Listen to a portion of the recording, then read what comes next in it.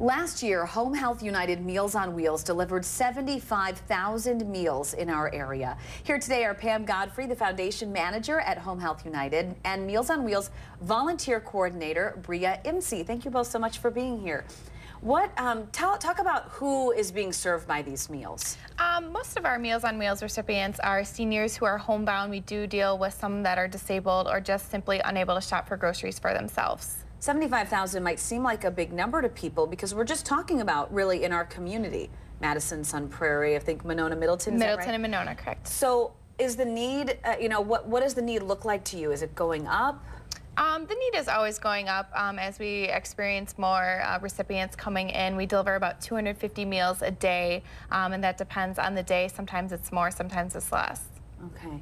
Pam, let's talk about this event that's coming up. We are a proud sponsor. Sweet Revolutions is the name, and it raises money for Meals on Wheels, and I'm excited to once again be there. I'll be honorary chair this year. So for people who didn't go last year, mm -hmm. it's mm-hmm. like a big kids carnival, and we have video to show from last year. Exactly. It's um, it's hard to describe it. It's an indoor, vintage, big kids carnival themed event. And uh, there's games, carnival games with prizes. We actually have a big carnival tent. We'll have stilt walkers, jugglers, um, a silent auction because it's a fundraiser sure. for Meals on Wheels. And we have a mega cakewalk. And everybody gets to take a cake. everybody should be able to take Who a cake Who plays home. the game? We saw some food too, so there mm -hmm. are mm-hmm. food stations scattered throughout. Exactly. Uh, food Fight Restaurant Group Market Street Diner, Carl's Cakes have all been huge, huge supporters of this fundraiser.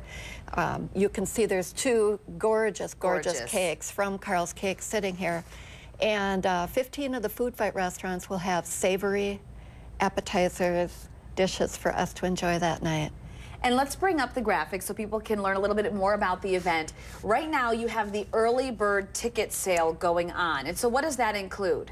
Well, our ticket, the normal ticket price is $44, but the early bird is $39, and you get a VIP swag bag.